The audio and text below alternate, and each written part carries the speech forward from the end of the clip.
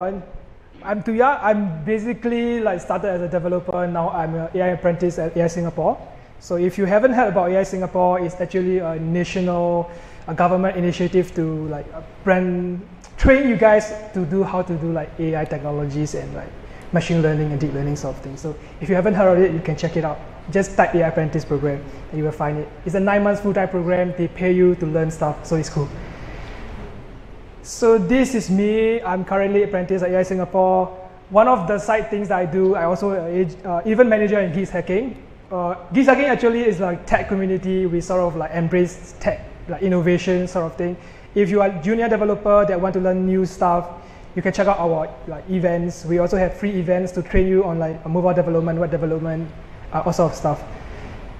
So this is my backstory. I study uh, IT from Republic Poly, slowly go to computer science, and also after I graduate, I work for RPA analyst. It is basically like automation of business processes. So you sort of like automate credit card issuing, like uh, digitizing sort of things into like, uh, like we are basically writing scripts to do this kind of thing. So it's sort of like a developer job, but you are not building application, you are writing scripts.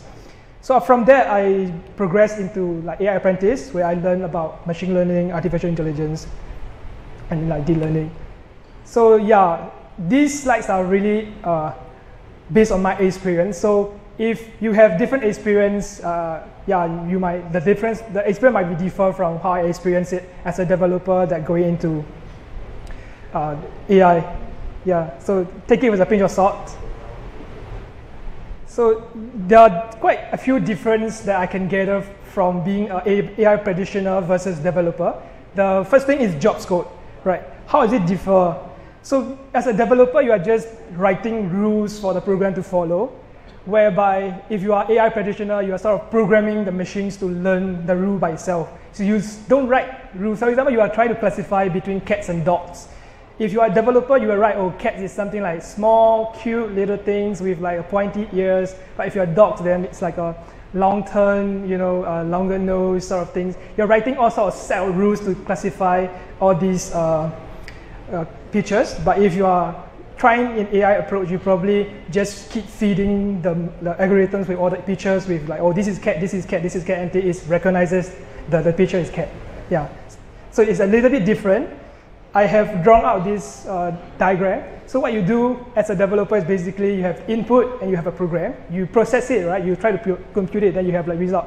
So for example, you try to call API call. You write API, you have input, like API key, then you try to write a like API call. You press button, you get back the result. That, that's like developer. But for AI, right, you have input and you have the output. You don't know what to write in the middle. Like how do you come from this input to output? So you just feed entire thing, the input output into the computation, which is like uh, the program. Then the algorithm will generate the program for you. So you don't have to write like specific rule what to do and what not to do. Then the thought process. The next thing is thought process. If you are a developer, you probably think about apps. Let's say you want to do some project, right? They will say, oh, what do you want to do? Are you going to do web app, mobile app? Are you going to build on like oh, Kotlin, Android, you know, uh, C Sharp, C++? But as an AI apprentice or the AI practitioner, you have to think about the data, like what kind of data you have. You cannot just build like uh, and like very good machine learning model if you don't have any data at all. So you need to have like input and the output to get the process, uh, the program by itself. So you need a lot of data.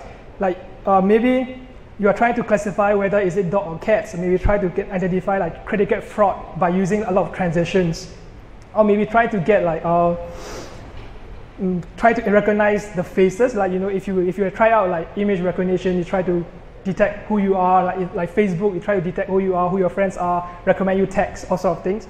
So all these require data. That's why Facebook let you like upload photos for free, or maybe Google upload photos for free. This, this is what how you're paying. You know, by uploading your data and like tagging your friends. So remember, if you remember like 2008 something, there's no such thing. So you just have to tag your friend manually like you will go to your face and tag them, tag them, tag them, right? It's basically you're training their model. So once they get it, now they are using it to like recommend you. Oh, is it your friend? Is it your friend? Yeah. So it's you that you know train their, their model and you're, you're working for them like, intentionally. As a programming skills, right? Like we are developers, so you need to have a lot, uh, like you need to like in-depth sort of thing. you need to learn like uh, Python, C++, C. We've been learning a lot. I've been from IT all the way to computer science. I learn programming every day. You know, do coding. I have to de- like, learn in the like uh, multi-threading, synchronizing. You know, API call, asynchronous. Uh, so many things, right? But if you are AI apprentice, your focus is a bit different. So you won't be learning in depth into how to program things because it will be automatically programmed, right? So you have to, you will be learning more towards. Um, understanding the context, which is like uh, math, like the formula, how you're going to interpolate from like the input to output. Like you have the, this sort of data, right? For example, you are trying to predict HDB housing price in 10 years time. So you have to know what kind of input that you can put in, then what kind of output you're expecting. Then you try to come up with like math formula behind it to understand it. And if you don't have math background, right, you sort of can't relate what's happening with the data and how the program is going to give you this kind of result. So you don't need very in-depth like programming skills. You need a handful like maybe Python, R, you know, uh, SQLs, NoSQLs, a little bit of uh, API call sort of thing. But the more intensive things you need is to understand the algorithms and the math behind it. So the next one is math. Like how deep you have to go, right? So as a developer, you don't really need to do a lot of math. Maybe like Boolean algebra for some operations but as a apprentice or AI, AI programmer, you have to do like statistics, probability, you know, uh, even like integrations, differentiation, all sort of things have to be important. You have to be familiar with all the symbols that they write, you know, all the Greek letter. I, like when I see it, I just want to throw a paper away, that kind of like that kind of level math. So yeah, if you understand it, like when you get into it, right, you understand it, you read as like, like a code. Like you, when you try to read, for example, you try to read nested function, right? it is the same. Like if you understand it, you have you can read the code. Also, it's also it's not the same, just a different domains expertise. So yeah, as a data thing, like if you are a developer, your project manager or your, your clients will just give you like, oh, just use this data like a dummy data, right? Maybe phone number one two three four five six. Then you just use that to try to program, you know, this input is valid or not. Try to use regex to like validate five number, six number, six number, one, run alphabetical order, right? So you don't really need like real life data to pr produce something uh, which is doable, like uh, can go to live sort of programs. But if you are doing AI application, you really need a real life data because what you need is input and output, right? It has to be real to get a real program that can do execution. So if you don't have a real life data, too bad, your AI program will just predict wrong stuff all the time. Oh, then this is like one of the main things that a lot of people are talking about is a reproducibility. What, mean, what it means basically is try to reproduce whatever you have done, right? As a developer, let's say you have uh, developed a mobile app, maybe three buttons in it, like one input. How do you, like, how often you, you can like try to reproduce that? You can always reproduce three buttons with one input, right? All the time. You don't really need any uh, specifications or any like data format or anything.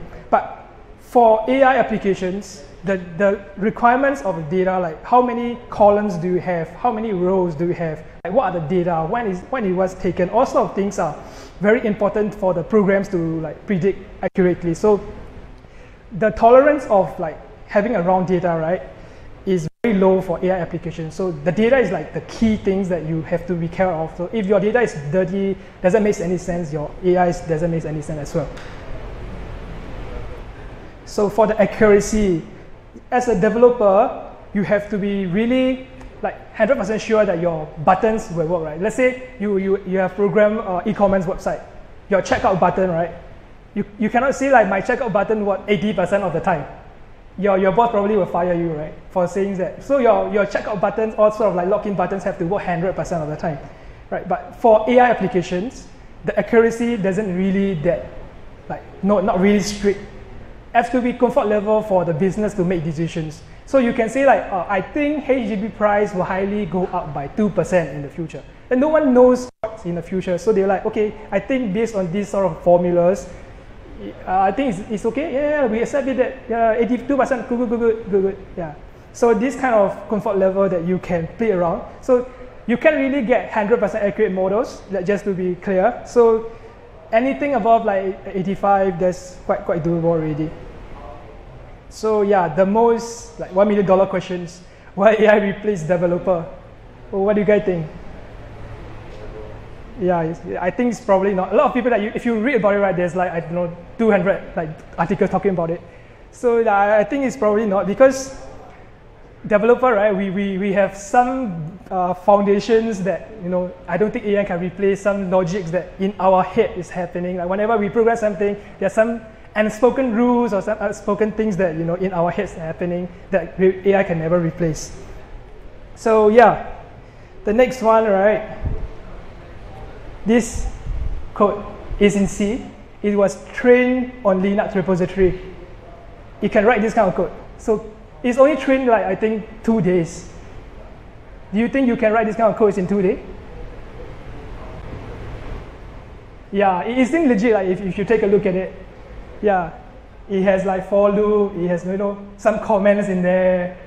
It seems legit, like written by some experienced programmer. But the good thing is you can compile that, so you, you can push it to you know GitHub repo. So if you want to try it out, right, there's the GitHub profile as well, and you can go and check it out. He has written like entire code and entire uh, programs, the AI programs to you know get into this kind of states. So if, if you're free, maybe you can just take a look, keep training your model until you can code like you, then you can just you know drink coffee every day. Just let it run. Like if I ask you to do some feature, right? Just let it run. Just go for coffee or play games, whatever, man. Yeah, so if you are interested to get started, the good thing about AI, right, everything is free yeah, you don't have to like pay money to learn it. Like there's like a lot of good YouTube videos that you can find. There's Coursera course, which is machine learning to intro. This is like go-to machine learning intro, right? Whatever you are not sure about math formula or whatever, right? The machine learning intro given by Andrew, the Professor Andrew Ng is very good. And deep learning intro is there as well. And the medium, right, is actually like a Stack Overflow for AI practitioners. So everything that you want to do, for example, I want to generate like a, just now the, the, the, the code, right? Actually, probably someone has already done it. The guides are there, how you set it up, how you run it, what kind of things that you should expect to do. All these are there. So, and the Kaggle's is, is like a challenge thing. So what they do, they sort of like upload the data because data is the more important thing. They upload the data, they give you a problem statement. You try to solve it using the machine learning techniques that you know. So if you can like beat other people in accuracy or maybe like simplicity wise, they will reward you. Can be like one million dollar if you just keep trying out. Yeah, the prices are too high. You just take a look, it's amazing. Uh, yeah, and DataCamp, right, is the intro courses which is free. Uh, if you want to try out the tracks, you have to pay.